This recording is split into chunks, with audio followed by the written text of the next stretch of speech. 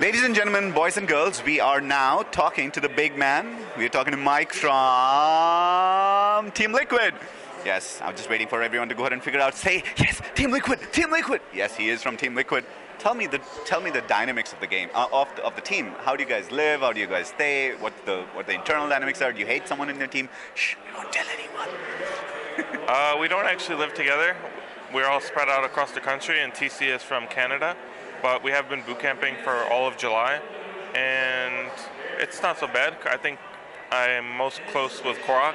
We share like the most things in common, and yeah.